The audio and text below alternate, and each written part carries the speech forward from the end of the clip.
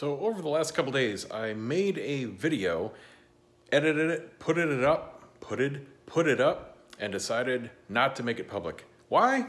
It was great for me because it was very useful for testing and diagnoses, but it ended up being really boring once I actually watched it. I'm going to surmise it for you in about a minute here. Long story short, the your network connection is to slow message came back all of a sudden on the NVIDIA Shield for no reason. Absolutely nothing changed on my end. However, the Plex app got an update pushed down.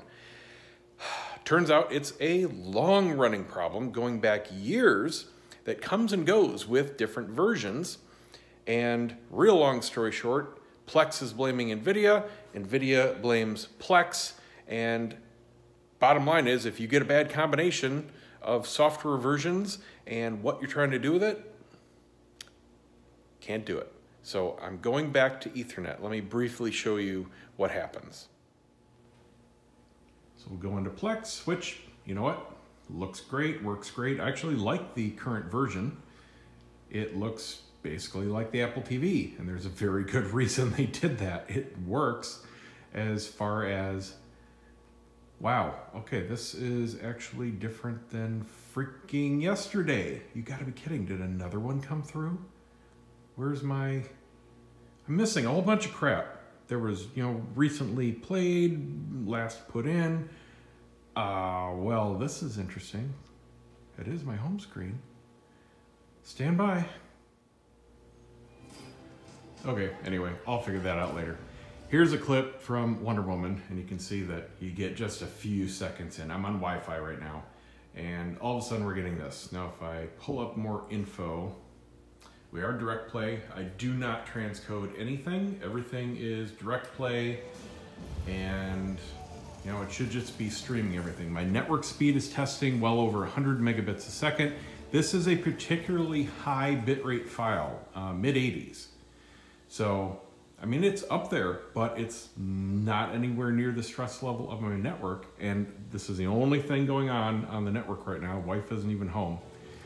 So, uh, let me see. You can see that it is playing in original quality. No conversion whatsoever. And if I plug into Ethernet, it plays perfectly. So it is just a Wi-Fi thing and this just started. I was showing these demo clips for the last few days to people and it was playing fine. And literally I fired it up and it just started doing this. So go into Ethernet. So there are lots of different ways that you can wire a home for network here in my office. Um, I've got one Ethernet drop and two coax. I'm just using one coax. When I renovated the house, I pushed everything back in that I wasn't going to use and you know cleaned everything up with better looking faceplates and all that kind of good stuff. So this is called a Leviton adapter and there are two or three major standards out there for how these types of things clip into the faceplates. And this one is compatible i can't remember what leviton calls it quick plug quick port or something like that. But it's compatible with keystone. You'll see the uh, term keystone used all over the place. And basically it just means there's this tab on the top and you've just got a clip so whatever you've got ethernet phone jack coax whatever they just clip into these square holes and you can buy the faceplates with whatever configuration you want one two all the way up to I think 12 fit on one faceplate and you know you can just buy whatever combination of color you need. So I got one with uh, a coax, a room for a coax and an ethernet. Stupid me threw out all the faceplates that I took off when I renovated thinking I'd never need them again. By far the easier way is when you have a drop that terminates in a normal ethernet plug. So basically you're running just patch cables all through your walls. This is the more common way when the house is built because they just run the raw cable and then terminate it into these. But if you have patch cables, if you've got the normal plug on the end, you can get faceplates with basically a female to female connector. So instead of this, it's just a female to female connector built in and you just plug the patch cable right in. So you don't have to do any of the custom wiring into these. There is a special tool that makes these super easy and quick, or you can just use a tiny little flat blade screwdriver, but these can be a little bit of a pain in the butt, pinching the wires down in and getting it connected and getting a good connection. So patch cables are good if you've got them. Uh, definitely stick that route. But if your house was built with Ethernet, this is probably what you're going to have. And then back here behind the entertainment center, I've got a coax and two Ethernet drops. And what I'm going to do is instead of using both of these, I'm just going to use one, and I just got a basic switch, same one I use in the office, and I'll put the switch here in the entertainment cabinet. And since I'm running Ethernet, I'm just going to switch and connect both the Apple TV and NVIDIA Shield, and maybe the receiver. I don't remember if that has Ethernet or not. But, uh, you know, while it's there, may as well use it. I'm only going to be using one device at a time, so it's not like they're going to be sharing any kind of bandwidth. So I'll be using one of these Ethernet here, and I've got two coax there that I don't use either. So they'll just stay there in the wall. And then somewhere in your house, you're going to have the networking hub space. So I've got the different alarm systems, and uh, this one was originally put in by Leviton, hence all the cable ends. And obviously there's nothing in here right now except the patch board and all the raw cable runs.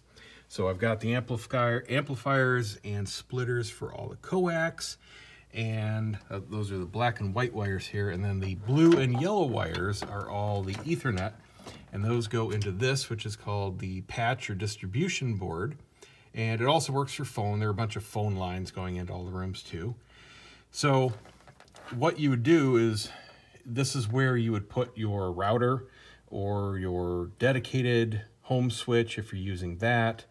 But what I'm going to do is simply find the two leads, find uh, the blue one going to the office there and the correct yellow one going to the entertainment system and just patch those directly together. I don't need this panel for anything. There's just yet another Android glitch. I just had to restart the Shield, and now all of a sudden reconnecting to my Plex server brings back everything. Nothing changed, just glitchy as hell. Woohoo! After yet another Amazon snafu three days later, got all my stuff in, got the new wire put in here, connected to the wall inside.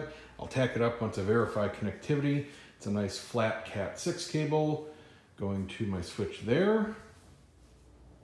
Another wall plate here with cable going in to another switch back in there.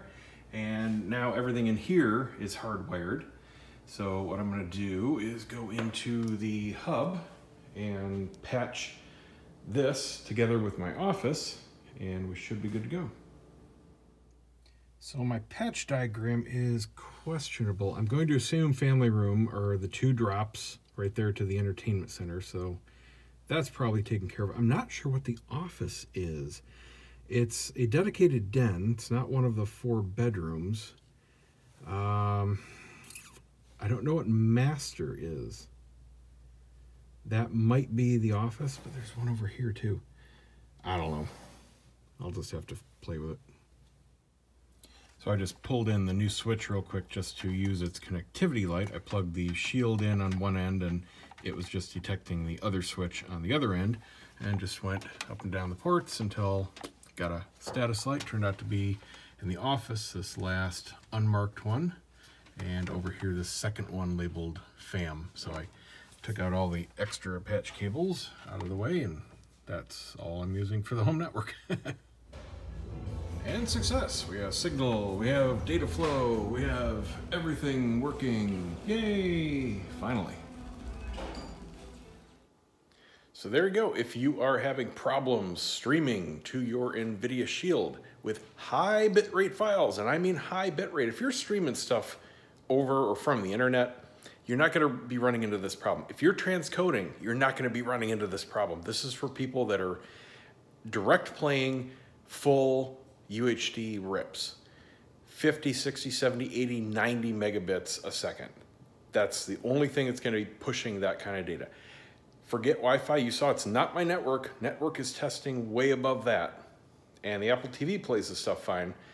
But if you're using Plex, if you're using Kodi, depending on the updates and the versions of everything coming out, you will have problems. So I did this just so I would not run into that again. I don't want to wait for them to patch it and then hope it doesn't break again.